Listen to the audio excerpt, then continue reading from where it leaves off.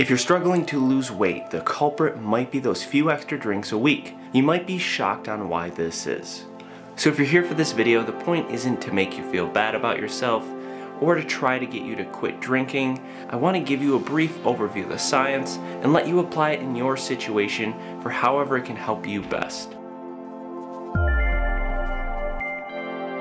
Hey everyone, welcome to Science Based Fitness. I'm glad you stopped by. Today we're covering the three main reasons on why drinking alcohol can make it harder for you to try to lose weight. The first and most obvious reason is that it's excess calories.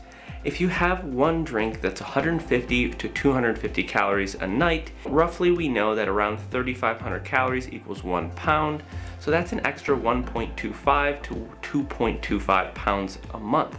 And those are rough estimates, but that is a general ballpark. This calorie energy expenditure is not exclusive to just consuming alcohol. This math is the same even if it's just a candy bar you have a day and you add that on top of your totally total daily energy expenditure. So if you're burning 2,000 calories in a day and you have either an extra drink or an extra candy bar, that will be excess calories and can make it more difficult to lose weight. Beyond that first point of total calories taken in with alcohol, Alcohol, when ingested, needs to be metabolized.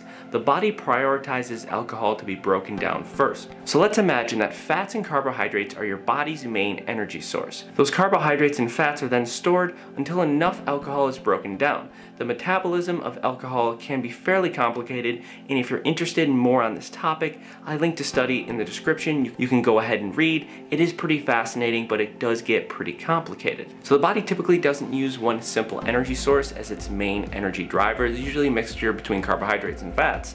So that's where it can be detrimental when we actually start to increase the amount of alcohol being taken in. Your body can metabolize a certain amount within an hour and each person's slightly different, but within that realm of possibilities, you're slowing down the body's ability to metabolize fats and carbohydrates and switching to metabolize alcohol simply because it's more of a toxin in the body. The body prioritizes removing alcohol first to restore normal functions.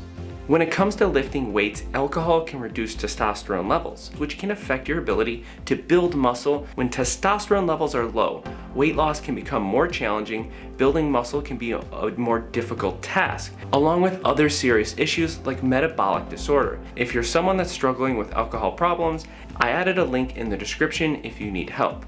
So a brief overview here. Number one, we have excess calories. Two, we have the way the body metabolizes alcohol and three, the reduction of testosterone and the disruption of hormone regulation. So I hope you guys enjoyed this video here. If you got use out of this, hit, hit like. Uh, if you guys got use out of this video, hit like, subscribe to the channel, stay tuned for my weekly content. We'll see you guys next week. If anyone's interested in helping support the channel, we now have a merch shop that's up and running. We also have an account on the site Buy Me a Coffee, which is a way for viewers to be able to support the channel with giving a one-time donation or allowing them to become channel members for just $5 a month. Memberships unlock exclusive content, so check out that link in the description.